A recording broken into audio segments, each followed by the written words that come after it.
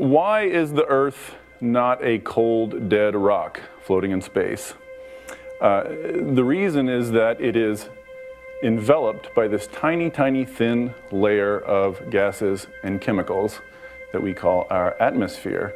So the sun's energy, rather than just coming down and bouncing right back off, it comes down and is held close to the surface of the earth for a while and then bounces off.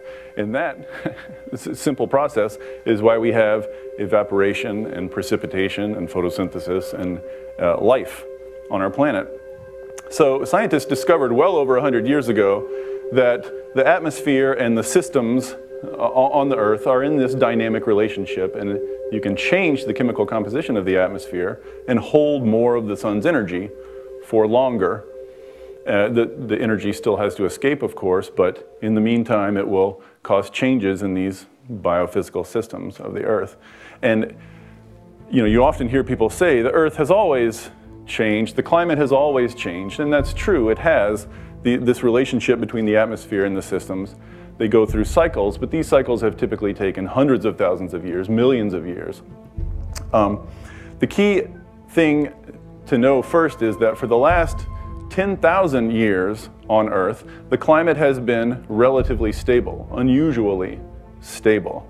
And by stable, I mean temperature has varied, it's gone up and down, but it's stayed in a fairly narrow band of about plus or minus one degree Celsius. And um, all of advanced human civilization has taken place during this 10,000 years. The development of agriculture, the written word, the wheel, the iPhone, everything we know, we, every, and everything we have built, we have done in this period of relative climate stability. So what we've been doing for the last couple of hundred years is digging up carbon out of the earth and throwing it up into the atmosphere and changing the chemical composition of the atmosphere, like has happened in the past, except for way, way, way, way faster. In geological time, the blink of an eye, we are substantially changing the chemical composition of the atmosphere, and all of climate science has been about what's going to happen, what is the Earth going to do in response to this. And so we've already seen that the process is underway we have measured, we have witnessed, observed with our eyes and our thermometers about a 0.8 degree Celsius rise in global average temperature since before the industrial age, since before we started digging all this carbon up.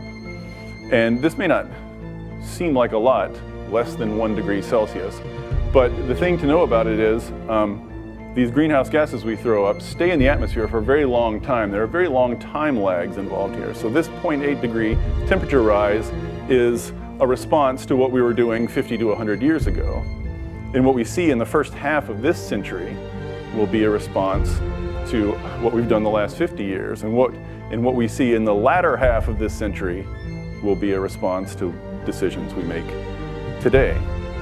So the question is, temperature is rising. How high does it have to rise before we need to worry, before we're in danger, before bad things start happening? Um, the typical answer to this question has been two degrees Celsius. So obviously, what counts as not dangerous versus dangerous is not a hard scientific question. It's a, it's a, a political question, and this was a, a, political decision to take this 2C number, mainly made by European climate negotiators well over 10 years ago. And it's just sort of stuck since then. All the countries involved in climate negotiations have basically signed on saying, yes, this is what we want to avoid, two degrees uh, centigrade temperature rise. The bad news on this 2C number is twofold. First of all, all the latest science done in the last 10 to 15 years has pointed to the conclusion that those impacts we thought were going to happen around 2 degrees centigrade are in fact going to happen much earlier than that. The climate is more sensitive to this uh, added um, greenhouse gases than we thought. So if those were the impacts we were worried about, then the real threshold of safety ought to be something like 1.5 degrees centigrade. Um, James Hansen is the climate scientist most famously known for raising these warnings, but it's, but it's a growing scientific consensus that two degrees is, is in fact dangerously high. um, which is bad because we are almost certainly going to blow past 2 degrees Celsius. Um, there's some reason to believe, a recent study said that even if we stopped our climate emissions tomorrow, we're still going to get uh, uh, more than 3 degrees this century just from momentum from the previous uh, emissions. But stopping at 2 degrees now would take a level of global coordination and ambition that is nowhere in evidence. So a lot of climate scientists don't really want to tell you this because they don't want to depress you, but I'm just a blogger, so I'm happy to depress you. Two degrees Celsius is probably off the table. So then the question becomes, well, what does it look like if temperature goes higher than that? What, what would, say, four degrees uh, Celsius look like? Oddly, there hadn't really been a lot of concerted scientific uh, attention to that question because climate scientists honestly thought we wouldn't do that to ourselves but we are doing it to ourselves. So in 2009, um, several uh, climate change research groups in England drew together a group of scientists, commissioned some papers, and had them really take a hard look for the first time. What would four degrees uh, uh, Celsius look like? There were a lot of papers, a lot of equations, uh, uh, a, a lot of talk and complexity. I have helpfully paraphrased it here for you to make it easier to grasp. Um, four degrees Celsius temperature rise would look ugly. Um, among other things, that would be the hottest the Earth has been in 30 million years. Um, sea levels would rise at least three to six feet, and this excludes some really uh, uh, uh, tail end possibilities, but three to six feet at least. And persistent drought would cover about 40% of the currently occupied land on Earth, which would wreak havoc on ag agriculture uh, in East Asia, in Africa, South America, Western US.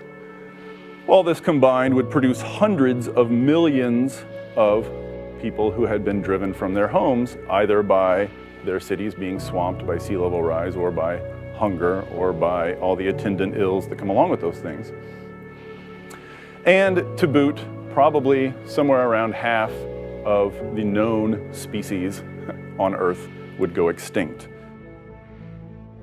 According to a recent paper by the uh, International Energy Agency, we are currently on track if we keep doing what we're now doing, if we go on with business as usual, as it's called, we are now on track for six degrees uh, Celsius temperature rise this century something, five to seven. It, these are obviously estimations. Um, so if four degrees is hell on earth, I'll let your imaginations fill in the blanks on six degrees. But uh, one danger that uh, comes up when we contemplate going this high with our temperature is the possibility that climate change will become irreversible. I think when people typically think about climate change, they think, oh, temperature is going to rise X amount. Circumstances will change. Some places will get warmer, some places will get wetter.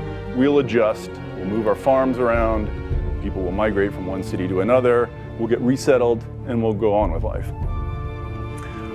The really dangerous possibility is that what are called, um, the Earth has several of what are called positive feedback systems. So for instance, in Siberia, there's this permanent ice, the permafrost, and it contains a bunch of methane in it. As it melts, it releases that methane. The methane causes more warming, which melts more ice, which releases more methane. It's a self-sustaining process. Or sea ice melts. Ice is white, it reflects energy. When it melts, it becomes dark blue and absorbs more energy, which heats the oceans, which melts more ice, which creates more dark surfaces. You see, there's a number of these systems that are self-perpetuating. And the danger, the great danger of climate change that towers above all these other more specific dangers is that these positive feedback systems will take on a momentum of their own that becomes unstoppable. And human beings will lose any ability to control it at all, even if we stop all our climate emissions on a dime. Will that happen at two degrees? Probably not, though there's a real chance of it, and there's a lot of debate about that. Will it happen at four degrees? Well, it looks a lot more likely at four degrees. Um, will it happen at six degrees? Almost certainly. So if we um, continue on, on our present course, climate change will probably take on a life of its own, spiral out of control, and according to a recent uh, paper, by 2300, we could see temperature rise of up to 12 degrees uh, centigrade. Now, if that happened, um, something like half the Earth's currently inhabited uh, land would become too hot to survive on. And when I say too hot to survive on, I don't mean it's difficult to grow beans or air conditioning bills are inconveniently high. I mean, if you go outside, you die of hotness. I mean, places that were an average of 80 degrees Fahrenheit will now be an average of 170, 180 degrees Fahrenheit. Literally too hot for human beings to go outside and survive. So, will there still be human civilization under those circumstances? Who knows? I mean, maybe we'll live in underground climate controlled caves, maybe we'll grow food in test tubes, but that wouldn't look anything like Earth as we now know it it would look a lot more like Newt Gingrich's moon colony, assuming any human beings, or at least enough to make a civilization, survived in those circumstances. So this is what I mean by climate change being simple. There are many complicated and fascinating discussions to be had about what to do about it, or about what effect our actions might have on the climate and when, or which policies are best based on cost benefit analysis. There's complexity, plenty of complexity for those of you who like complexity. But we now know to a fair degree of certainty that if we keep doing what we're now doing, we will face unthinkable catastrophe. That's the, that's the bumper sticker, that's the take home message. And that, you know, saying, I don't want to talk about that because I don't know the ins and outs is like saying, I don't want to raise alarms about Hitler's army being 100 miles out because I don't know the thread count of their uniforms or I don't know the average calorie intake of a German soldier. You don't need to know those things to be scared that the army's on the march and to raise alarms about it. Similarly, if we keep doing what we're now doing, we are screwed. This we know now. Um, to stabilize temperature, and I don't mean stabilize temperature at 2 degrees or 4 degrees or 6 degrees, I mean to ever have a hope of ever again having a stable temperature of any kind, global climate change emissions need to peak, stop growing, peak, and start falling rapidly in the next five to 10 years. Um, every year we do not get started on this we add, according to the International Energy Agency, an extra 500 billion with a B dollars to the price tag of what it's going to cost us to do this eventually. Every year we wait, that's 500 billion dollars down the drain. Now, you and I look around at current politics, particularly US politics, and massive, coordinated, intelligent, ambitious action does not strike us as particularly plausible. In fact, it might strike us as impossible, but that is where we are, stuck between the impossible and the unthinkable. So your job, anyone who hears this, for the rest of your life, your job is to make the impossible possible.